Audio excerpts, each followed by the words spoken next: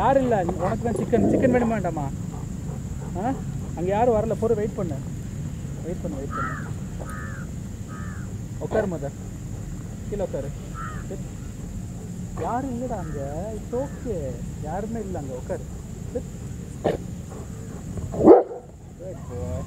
சரி யார் வந்தாலும் அவங்களுக்குலாம் கிடையாது உனக்கு மட்டும் சிக்கன் சரியா ஆ சாப்பிட்றியா ஆ சாப்பிட்றியா சிக்கன் சிக்கன் அந்த வரைக்கும் என்னால் வர முடியாது சரி யாரும் இல்லை அங்கே யார் இல்லை எதுக்கு குழச்சி யாரும் இல்லை பராக்கா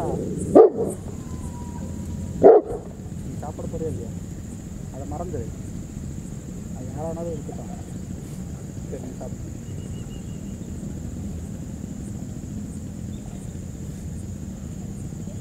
சாப்பிடு சாப்பிடு சாப்பிடு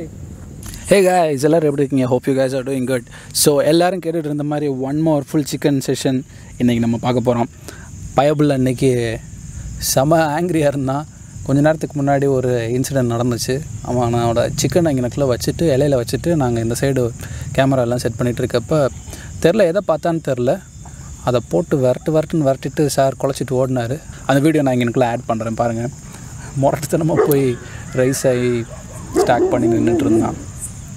சார்ஜ் பண்ணலை சார்ஜ் பண்ணுற மாதிரி தான் ஆனால் போயிட்டு இருந்தேன் பட் அங்கனுக்குள்ளே நான் போய் பார்த்தப்ப எதுவும் பெருசாக ஒன்றும் இல்லை ரொம்ப நேரம் குழச்சிட்டே தான் இருந்தான் அதுக்கப்புறம் கூப்பிட்டு வந்து சாரை சாப்பிட சொல்லி சாப்பிட ஆரம்பிச்சிட்டான் ஸோ எஸ் அவன் சாப்பிட்டுட்டு இருக்க டயத்தில் நம்ம அப்படியே ரா சிக்கன் ஃபீட் பண்ணுறத பற்றி லைட்டாக நம்ம இன்றைக்கி டிஸ்கஸ் பண்ணுவோம் ஸோ எல்லாருக்குமே ரா ஃபீடிங் அப்படின்னு சொன்னோடனே டக்குன்னு ஒரு கொஸ்டின் வரும் ரா ஃபீடிங் அப்படிங்கிறது என்னெல்லாம் ஃபீட் பண்ணலாம் எந்த வயசில் ரா ஃபீடிங் இன்ட்ரடியூஸ் பண்ணலாம் அதே மாதிரி ரா ஃபீடிங் வந்து நல்லதா நம்ம டாக்ஸுக்கு இல்லை அதை வச்சு எதுவும் சைட் எஃபெக்ட்ஸ் எதுவும் இருக்கா அப்படிங்கிற மாதிரிலாம் நம்ம கொஷின்ஸ் தோணும் ஸோ அதே மாதிரி எந்த ஒரு டயத்தில் நான் அவனுங்களுக்கு ரா ஃபீடிங் இன்ட்ரடியூஸ் பண்ணேன் அதே மாதிரி இப்போ நான் கரண்ட்டாக என்ன பண்ணிகிட்ருக்கேன் ஃபீடிங்க்கு ரா ஃபீடிங்க்கு அப்படிங்கிற மாதிரிலாம் சில கொஸ்டின்ஸ் இருக்கும் ஸோ அதை பற்றிலாம் ஒன்று ஒன்றா நம்ம இப்போ பார்ப்போம்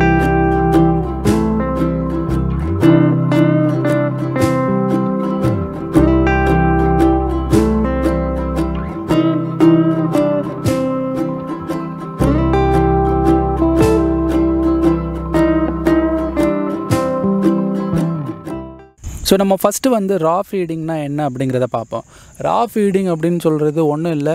நம்ம பச்சை கறி சமைக்காத கறி இல்லை அப்படின்னா பீஃபு இல்லை போர்க்கு இல்லை ஃபிஷ்ஷு இது மாதிரி எதாவது கொடுக்குறது தான் ரா ஃபீடிங் ரொம்ப சிம்பிள்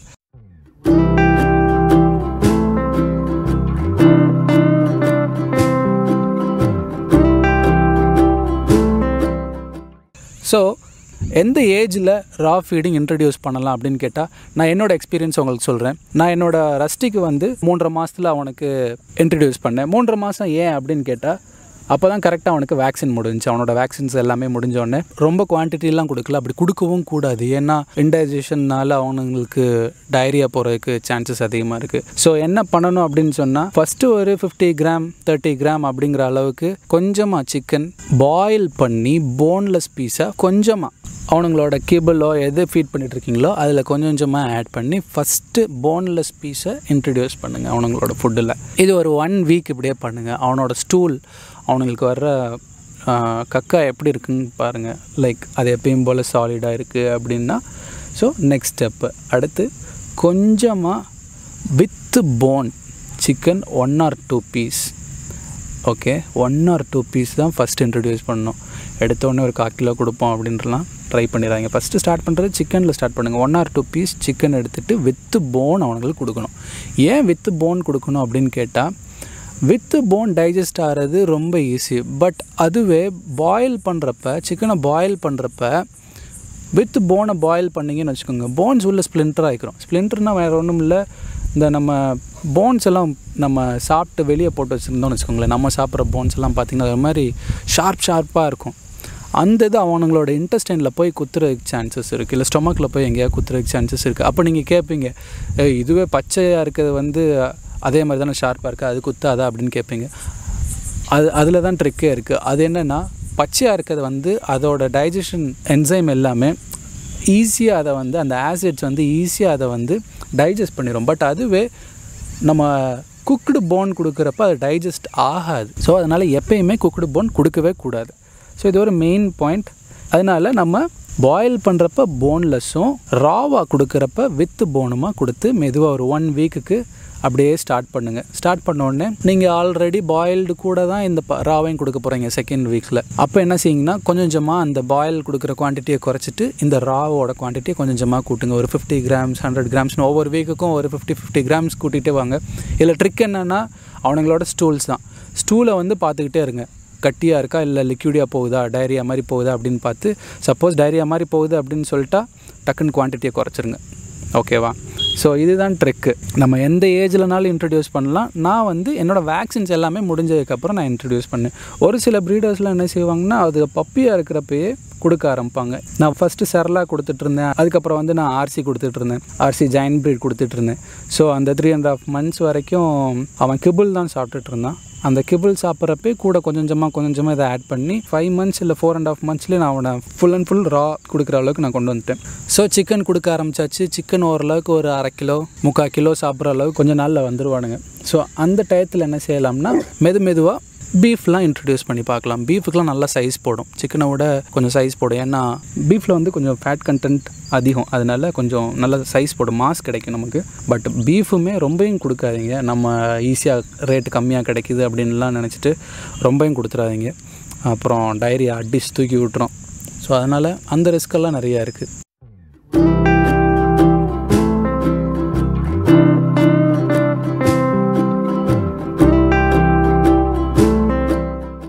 ஸோ இப்போ நமக்கு டக்குன்னு தோணும் குவான்டிட்டி எவ்வளோ கொடுக்குறது அப்படின்னு ஒரு கொஸ்டின் வரும் குவான்டிட்டி அப்படிங்கிறது வர்றப்ப அவனோட எக்ஸ்பெக்டட் பாடி வெயிட்டில் three to four percentage so three to four பர்சன்டேஜ்னால் ஆக்டிவாக இருக்க ஒரு டாகுக்கு த்ரீ டு ஃபோர் பர்சன்டேஜ் அதுவே நம்மளோட வீட்டில் ஒரு பெரிய ஒரு அடல்ட் டாக் இருக்குது அது அவ்வளோ ஆக்டிவ்லாம் கிடையாது விளாடலாம் விட மாட்டோம் அப்படிங்கிற ஒரு சுச்சுவேஷன் இருந்துச்சுன்னா அவ்வளோ சிக்கன்லாம் தேவையில்ல two percentage of the body weight adult body வெயிட்டுக்கு கொடுத்தா போதும் ஸோ என்னோடய எக்ஸ்பெக்டேஷன் ஒரு சிக்ஸ்டி கேஜி அப்படின்னு வச்சுருந்தேன்னா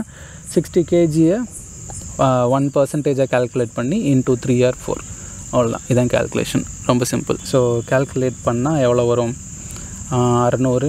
சிக்ஸ் டுவெல் எயிட்டீன் ஆயிரத்தி எண்ணூறு அப்படின்னா ஒரு கிலோ எண்ணூறு கிராம் அப்படிங்கிற கணக்குக்கு நமக்கு வரும் ஸோ அவ்வளோ நம்மளால் போட முடியல அப்படின்னா அவனுங்களோட கிபிள் ப்ளஸ் இது ஒரு முக்கால் கிலோவோ அரை கிலோவோ போட்டுக்கலாம்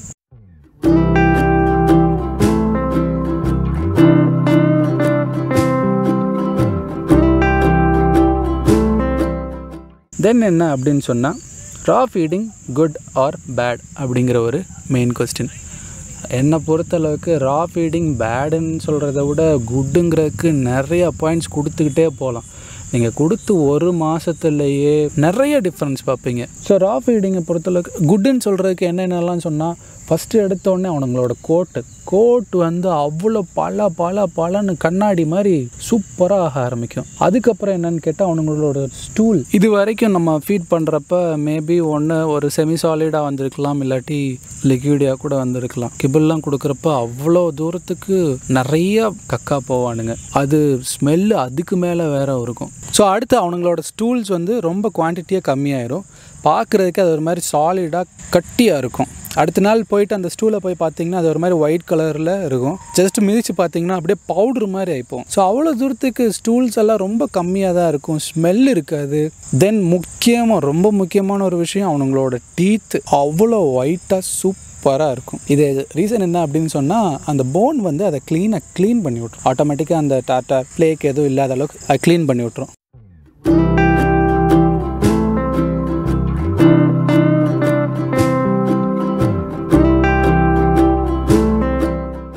ஸோ நான் எப்படி இன்ட்ரடியூஸ் பண்ணேன் அப்படிங்கிறது இன்னொரு முக்கியமான கொஸ்டின் அதை நான் ஆல்ரெடி லைட்டாக கவர் பண்ணிட்டேன் so yeah as I told before நான் அவனுங்க வந் அவனுக்கு வந்து ஒரு மூன்றரை மாதமாக இருக்கிறப்பயே அவனுக்கு கொஞ்சம் கொஞ்சமாக அவனோட கிபிளில் கொஞ்சோண்டு பாயில்டு சிக்கனை ஆட் பண்ணி அந்த பாயில் பண்ண வாட்டரையும் ஆட் பண்ணி கொடுத்தேன் தென் லேட்டர் ஆன் பச்சைக்கறி வித்து போன் கொஞ்சம் கொஞ்சமாக கொடுத்துட்டு அதுக்கப்புறம் அது அவனோட ஸ்டூல்ஸை மட்டும் பார்த்துக்கிட்டே இருப்பேன் அதோட டென்சிட்டி எப்படி இருக்குது அப்படிங்கிறத பார்த்துக்கிட்டு லிக்யூடியாக இல்லை ஓரளவுக்கு சாலிடாக இருக்குது அப்படிங்கிற ஒரு சுச்சுவேஷனில் கொஞ்சமாக குவான்டிட்டியை இன்க்ரீஸ் பண்ணிகிட்டே இருப்பேன் so this is how I introduce them chicken as well as beef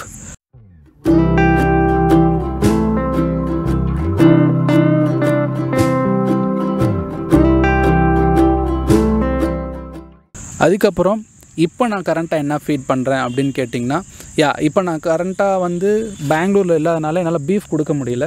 so அவனுங்களுக்கு சிக்கன் கொடுப்பேன் இப்போ வந்து ஒரு நாளைக்கு ரெண்டு தடவை அவன் வந்து டாக் ஃபுட் சாப்பிடுவான் அடுத்த நாள் ஒரு தடவை வந்து சிக்கனும் ஒரு நேரத்துக்கு வந்து டாக் ஃபுட்டும் சாப்பிடுவோம் so this is how I am feeding them currently இங்கே லைட்டாக இருட்டாக ஆரம்பிச்சிருச்சு ஐ ஹோப் அவன் சிக்கனை எப்படி வேணால் முடிச்சிருவான்னு நினைக்கிறேன் அதுக்குள்ளே இருட்டாகிறதுக்குள்ளே sorry for the blood quality guys so பைய ஊடால லைட்டாக கொஞ்சம் நேரம் மக்கர் பண்ணனால நமக்கு ரொம்ப டைம் ஓடிடுச்சு சாப்பிடு சாப்பிட்டு முடியலாட்டி டாடா வீட்டுக்கு போயிடுவேன்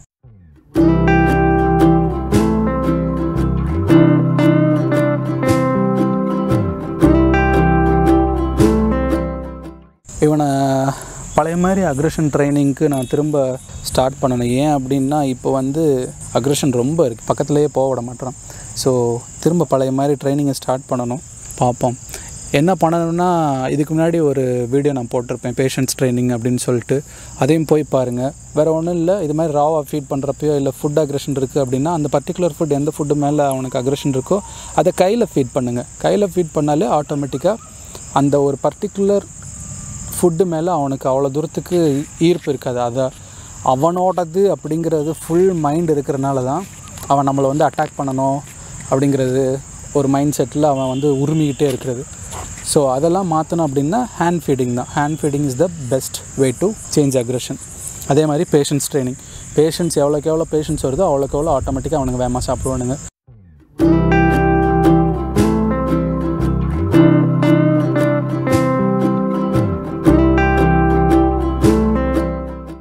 ரா ஃபீடிங்கில் மெயினான ஒரு பாயிண்ட் சிக்கனை எப்பயுமே கடையிலேருந்து வாங்கிட்டு வந்துட்டு நேராக கொடுக்கவே கூடாது கடையிலேருந்து வாங்கிட்டு வந்துட்டு அட்லீஸ்ட் டுவெண்ட்டி ஃபோர் ஹவர்ஸ் வந்து ஃப்ரீஸ் பண்ணியிருக்கணும் உங்களோட ஃப்ரீசிங் ஐசிங் பாக்ஸ் இருக்கும்ல ஃப்ரிட்ஜில் அதுக்குள்ளே எடுத்து வச்சாதான் அதில் இருக்க அந்த ஒரு சின்ன சின்ன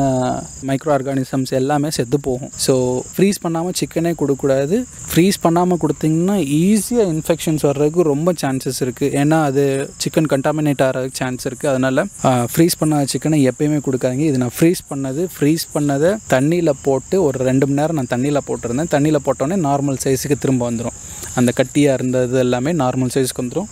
ஸோ அதைத்தான் இவன் சாப்பிட்டுட்ருக்கான் நான் அதை போடுறது கொஞ்சம் டைம் ஆயிடுச்சு தண்ணியில் ஊற போடுறது கொஞ்சம் டைம் ஆயிடுச்சு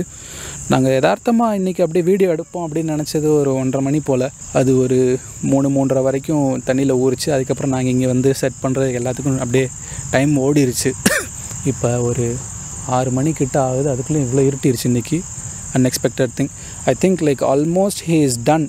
பார்ப்போம் இன்னும் எவ்வளோ நேரத்தில் முடிக்கிறேன் அப்படின்னு நான் எடுக்கிறேன் வீடியோ கடைசி வரைக்கும் கவர் பண்ணுறேன் வீடியோ நல்லா இல்லாட்டி மேபி நான் ஆட் பண்ணியிருக்க மாட்டேன் பார்ப்போம் அட்லீஸ்ட் அந்த ஒரு சின்ன ஒரு கிளிப்பாக நான் போட்டு காமிக்கிறேன் ஃபுல்லாக முடிக்கிறேன் பூ முடி ஃபினிஷ் பண்ணு வேமா ஃபினிஷ் பண்ணு சாப்பிடு ஸோ யா இதே மாதிரி இன்னொரு ஒரு சிக்கன் வீடியோ நான் ஆல்ரெடி போட்டிருக்கேன் அதையும் போய் பாருங்கள் வேறு எதுவும் உங்களுக்கு டவுட்ஸ் இருந்துச்சுன்னா கண்டிப்பாக கமெண்ட்லாம் மென்ஷன் பண்ணுங்கள் என்னோட சாட்டிராட்டி பேஜில் வந்து நீங்கள் எனக்கு டேரெக்டாக ஒரு டிஎம் பண்ணலாம் I do reply you in while இது வரைக்கும் நீங்கள் சப்ஸ்கிரைப் பண்ணலை இதுதான் உங்களுக்கு ஃபஸ்ட் டைம் அப்படின்னா கண்டிப்பாக சப்ஸ்கிரைப் பண்ணுங்கள் தேங்க்ஸ் ஃபார் வாட்சிங் கைஸ் பாய்